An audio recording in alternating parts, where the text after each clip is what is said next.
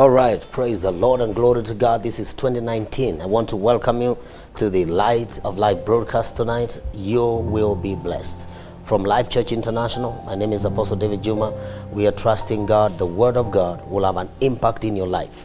We are dealing with a theme at the beginning of the year possessing the gates of our enemies. This is a promise that God gave to Abraham in Genesis 22, verse 17, and it's now fulfilled in Christ Jesus. If you're in Christ, then everything was, that was promised to Abraham shall be yours. And we believe this word will bless you. We are trusting God. If you are in the city and you are able to access Nairobi, Kenya Cinema Plaza, uh, right in Moi Avenue in the city center is where we are ministering from and worshiping the Lord. And you're welcome for our Sunday services at 9 a.m. We trust in God. You will enjoy moments of worship and the ministry of the word. Every morning, Monday to Friday, we have morning glory and also lunch hours at uh, 12:45. We believe the word of God will have an impact in your life we believe as we watch this message, something good is going to happen. And then at the end, I'm going to pray with you. Let's trust God together. You will possess the gates of your enemies.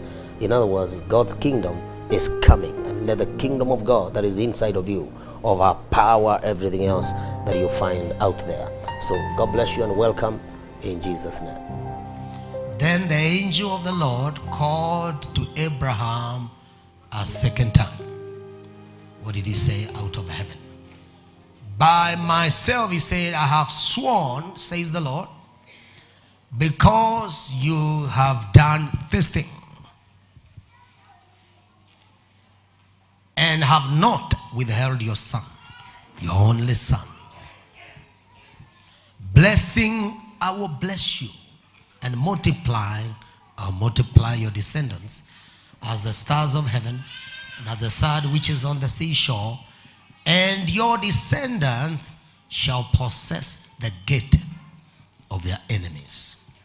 In your seed, all the nations of the earth shall be blessed because you have obeyed my voice. Wow. Let's also read Genesis 24 and from verse 55. But her mother, I mean her brother and her mother, said, Let the young woman stay with us a few days, at least 10. After that, she may go. And he said to them, 6, Do not hinder me, since the Lord has pro- prospered my way.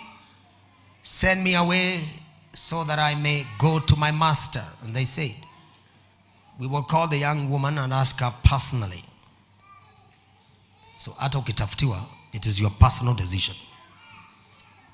Then they called Rebecca and said to her, Will you go with this man? And she said, I will go. So they sent away Rebecca, their sister, and her nurse, and Abraham's servant and his men. Verse 60. And they blessed Rebecca and said to her, Our sister, may you become the mother of thousands of ten thousands, and may your descendants possess the gates of those who hate them. Wow. I want to continue with some key highlights that the Spirit of God has given us from this text that is going to help us understand how we are possessing the gates of our enemies. Before I do that, let me connect those two verses. Here is Abraham, he has a promise, and the promise will go to his descendants, to his seed. Here is another family, and they have their sister, and miraculously she has come to water her animals, and then waters the Abraham's servant animals, and there's a connection, and then the young man who was sent goes to the family of Rebecca, and he's there a couple of days, and then it's time for Rebecca to be released so that she can go and be married to this man who she's not met. What a way. And look, the blessing they gave Rebecca is the same blessing. That your descendants will possess the gate of those who hate them. Two people have the same promise to possess the gates. And look at the divine plan of God. The two get married or got married. Look, somebody has a similar, I mean, has a promise similar to the other one, and the two of them come together. I tell you the truth, their offspring have no alternative than to have what I'm calling a compounded anointing. This year, we will link up with those whom God has so prepared to line up with the DNA that is also in our lives. Did you hear what I said? If you're in business, you will also connect with other men and women that God has already prepared through the word of God. Hallelujah. And I tell you, there will be an explosion. Receive that in the name of Jesus. We said several words that are key to us. The first word we mentioned last Sunday was the word obedience. Because Abraham obeyed, then God released a promise not only to him but also to his seed. And we said obedience will secure the gates for you. And what are you obeying? You're obeying God's word, you're obeying his prophetic voice, you're obeying him, and you are taking heed to the command, statutes, and ways that he has given to us. Through obedience, may we possess the gate of our enemies. The other word that God released was the word blessing. And we declared the nature of that blessing. It is the kind of blessing that maketh us rich. And God adds no sorrow the toil, travail, pain, like a woman giving birth in your working and going on with your life. You shall not experience this kind of toil and pain and, and, confusion and sometimes pangs that you can't handle and only to get a little result. Rather, because the blessing of the Lord is over us, then we will enjoy the riches of God, both the spiritual riches and material riches all kinds of riches. You know, yesterday the Holy Spirit said something very interesting to me as Pastor Tom was preaching. He said, Why sometimes God releases houses, vehicles, you know, physical materials to God's people is to show them that He cares for them. Because when you see it among the heathen, you wonder, Lord, like David was wondering, how come you are not doing that which you've done to others? God cares. And because He cares, he will do something for you physical to demonstrate what he is said he will do even for you spiritually. Praise God. And so whatever manifestation or blessing that you desire, may it manifest for you in 2019. Glory to God. The other key word is the word multiplication. In multiplying, I will multiply you and multiply your descendants. This is simply a word saying you will have many children. And we read a scripture in Hebrews chapter 2 and verse 10, which God gives as a promise for Jesus. For it was fitting for him, for whom are all things, and by whom are all things, in bringing many sons to glory, to make the captain of their salvation perfect through sufferings. God is determined this year to bring many sons by Jesus' connection and all that is taught to us in Galatians chapter number 3 and 4 through Jesus Christ we are now co-heirs and therefore we inherit everything that Abraham was given. Listen, here God is promising Abraham a harvest. God watches over his word to fulfill it. Glory to God. The promise of God to Abraham to have many sons and to have a multiplication of descendants. That promise is a promise of a harvest. And that promise is going to keep running in Jesus' name. When Jesus finished his ministry on earth, he gave us Matthew 28, verse 19 Go make disciples of all nations. Wow. That is still part of the Abrahamic promise. Go make disciples of all nations. And we said last year in the camp you and I are disciples for this season. You need to learn what it means and what it takes to teach somebody, to mentor somebody, to show somebody the way. Glory to God. It doesn't matter how high you are in the kingdom, if there's anything to like being high, you, you still are required to be under someone else who can teach you, guide you, and show you the way. Glory to God. And something very amazing. I had this contact with a prophet from Italy. And I discovered the man has so much detail, especially the writings of Paul. Any phrase you talk about, he knows what it is in the Roman culture. And he said something very strange. He said, when Jesus said that I'm the true vine and you are the branches. And he said, the branch that beareth not fruit, he cutteth away. And the, the you know, so that the, there can be fruit. And he said, the branches that don't bear fruit in a vine are the ones looking up. They are the ones that don't bear fruit.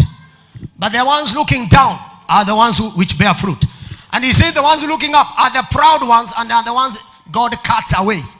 And he said something I never heard. He said, if you're proud and you're always up and you want to lift your head above others and you don't hear anybody, you are Alpha Omega to yourself. You are the people, the axe is laid and they shall be cut. He said, the branches that look down are the ones that heavily carry the fruit. Ah. The other word that I want to bring this morning, I just spent five minutes on it, is the promise to Abraham was because, this is 22, chapter 22. In chapter 18, God had declared that Abraham was his friend. And one of the ways in which we are going to possess the gates of our enemies, we are going to possess coming from a relational position of being a friend of God.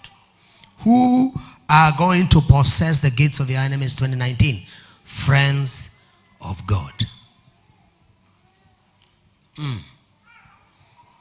Let's now declare this matter so that it can be installed in your spirit. If you are a friend of God, you will possess the gates of your enemies in 2019. Do you remember when God was going to destroy Sodom and Gomorrah? I know you are not there, but have you read about it? And sent some angels to go to check the city and bring it down.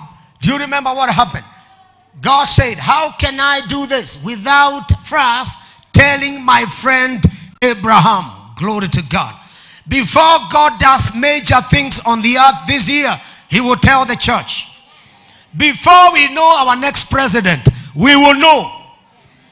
Ah, before th major things happen, listen, God doesn't intend to do anything on the earth until first He reveals it to His servants, the prophets. Who are prophets? Prophets are those who stay in the presence of God to receive God's counsel, to hear from the Father, to hear from God. And the prophets that are genuine are friends of God. And look, Abraham was declared by God that he was a friend of God. I pray this year heaven will testify about you and say what you are like, just like he testified concerning Job. He asked Satan, who was moving around here and there like a vagabond, Have you met my servant Job? Glory to God. May heaven testify about you.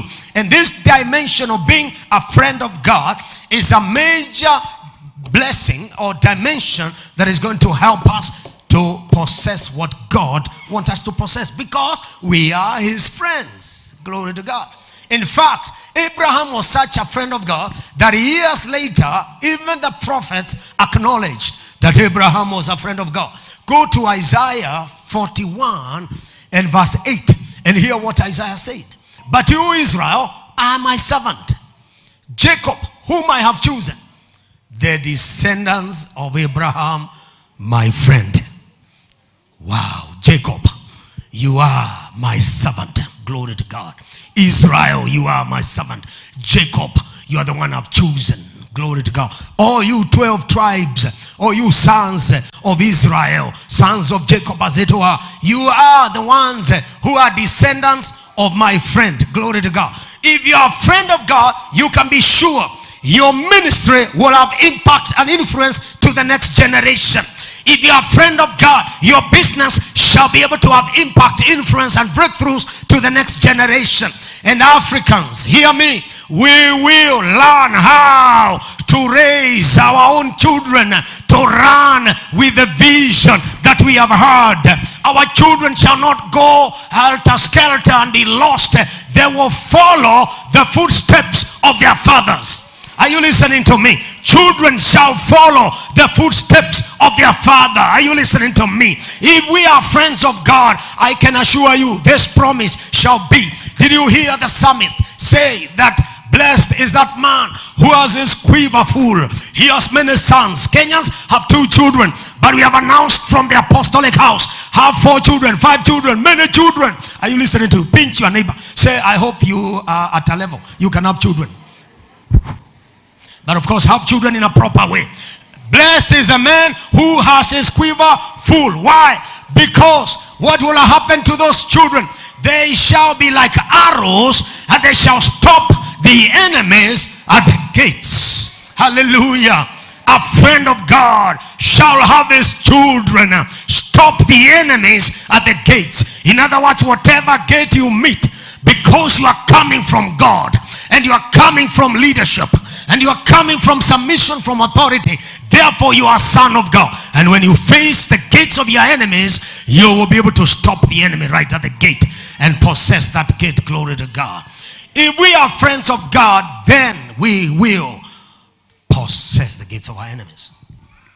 Even apostle james in the book of james chapter 2 when he talks about this matter of abraham uh, verse 23 James talks about faith and so forth, and how faith without works is dead. And he teaches very powerfully on the matter and talks about the faith of Abraham. And then in verse 23, he says, as the scripture uh, was fulfilled, which says, Abraham believed God, and it was accounted to him for righteousness. And he was called who? The friend of God. I pray that relational Christianity, did you hear what I say? Relational Christianity is the key, is the wineskin, is the system, is a spiritual system that will usher you to the next breakthrough and blessing. Let me say that again. Our relationships with one another are so important.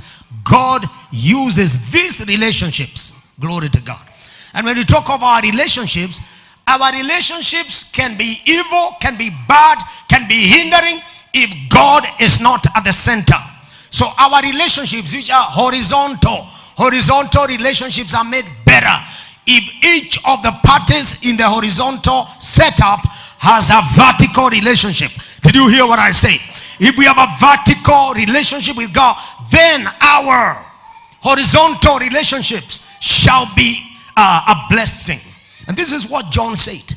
Uh, this is what John said. Now, uh, before I go to John, can we agree? James, when he's talking about faith and works, he says Abraham showed his works by giving his only son Isaac as a sacrifice. And he said, Our faith, for it to be real, we got to do something to demonstrate that we really believe in God. Are we together?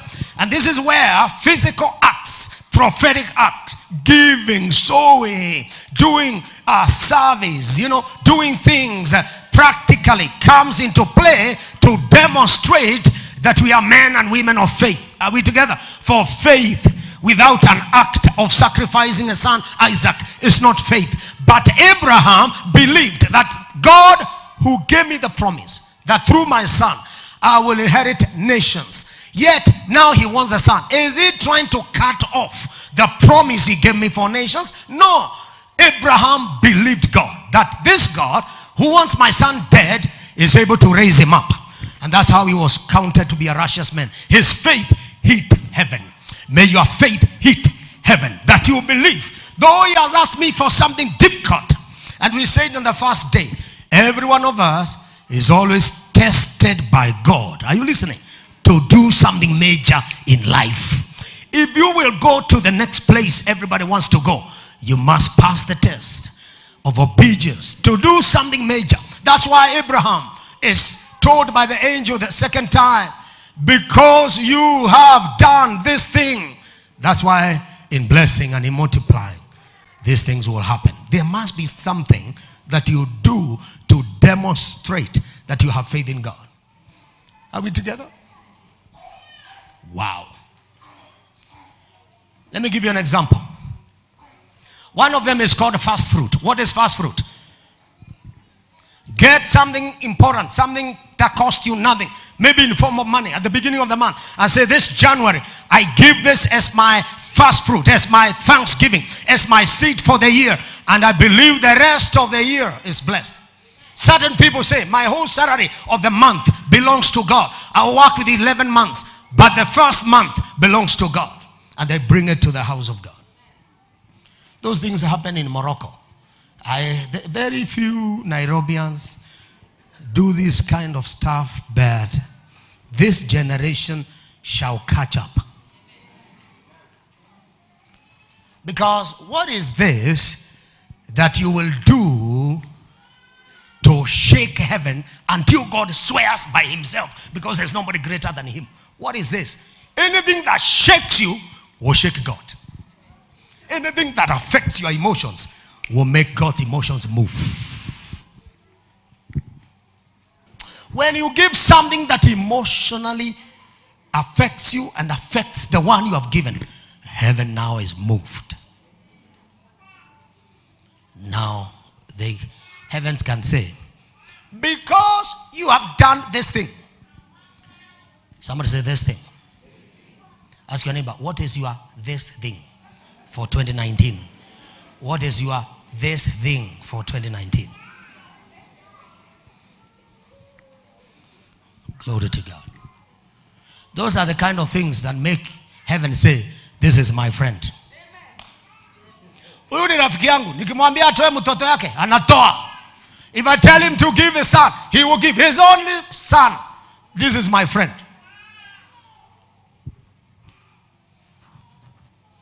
Who of you shall have a friend in Luke 18? And a friend comes to you at midnight and says, Friend, I have some three visitors from Nairobi and they want bread. But this friend will say, I'm in bed with my children. I cannot wake up.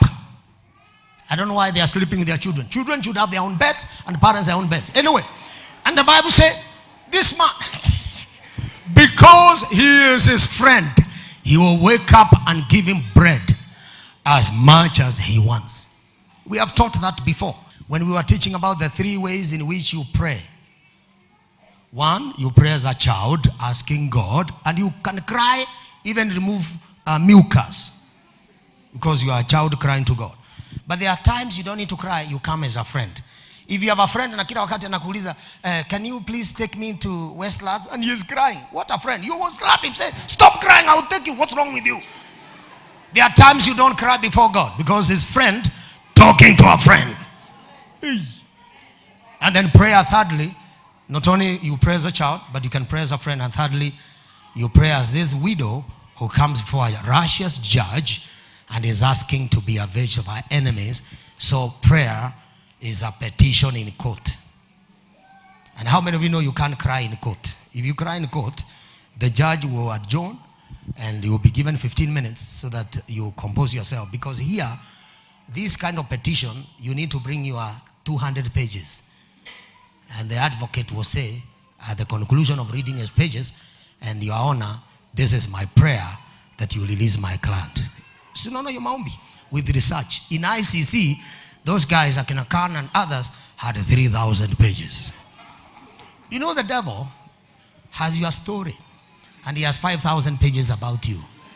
He's trying to use those pages. Page 492, paragraph 3, uh, the last line. He has a case which you have hidden, and he's trying to use that. But wait until Parakletos walks into the courtroom. Parakletos is called helper, it's called Holy Spirit, it's called comforter.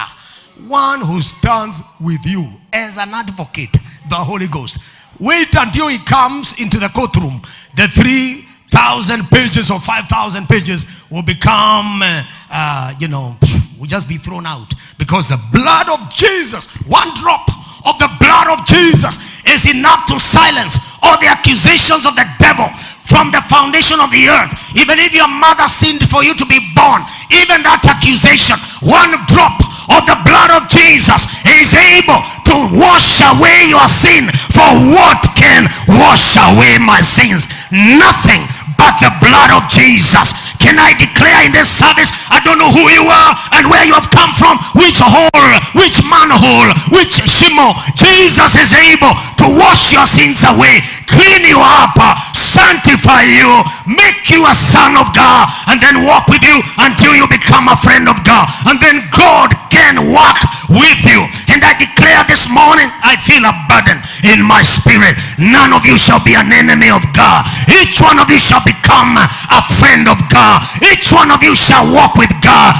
Because of his blood, we have been brought near. Even those of you who are far, even those of you who are Gentiles, even those of you who probably think you did not qualify because of what Jesus did on the cross, those who are far are now brought near. He has broken the middle wall of partition. Now we have peace with God. Hallelujah. I belong to the family of God. Thank God for Jesus, somebody. Thank God for the cross. Thank God for the power that he released on the cross when he died. This is the gospel.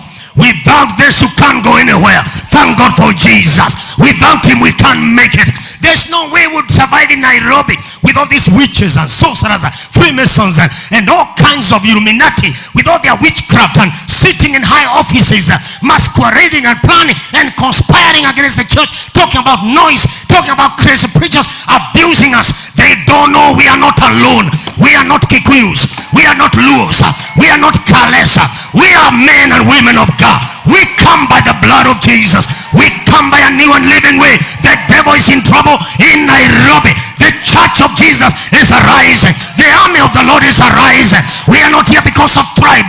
We are not here because of education. We are here because of what he did on the cross and he brought us into the family. We are friends of God. Somebody lift your hands and bless his holy name. Wow, glory to God. Thank you for tuning into this message. We want to pray with you. We trust Jesus, the one who's given us the word, is able now to reach you and touch you in a special way.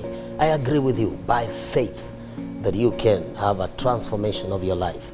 And those who are not born again, this is the time to open up your heart that whatever God has promised His church can also be part of your life. And if you receive Jesus, I tell you, your life will begin in a fresh way. He will forgive your sins. He washes them with the blood of Jesus. He give you hope. He'll give you love. And I tell you what, your life will never be the same again. So, can we pray together right now? Father God, I pray with this viewer in the name of Jesus, let the glory of God be revealed, let the power of God be revealed, let salvation come to their life. In the name of Jesus, pray with me. Why don't you say, Lord Jesus Christ, I've heard the word, and today I humble myself. I ask you to come into my life. I believe in my heart, and now I confess with my mouth, Jesus Christ, you are the Son of God. In Jesus' name I pray. Amen. God bless you. Enjoy the glory of God, the presence of God. I bless your family, and may you walk in divine health. May you walk in divine grace. And let's gather and worship together. We believe Jesus Christ shall continue to change this nation through the gospel. We are contributing the little we can through bringing this message through this television channel. May you tune in every week and enjoy the presence of God. Shalom. We'll see you soon.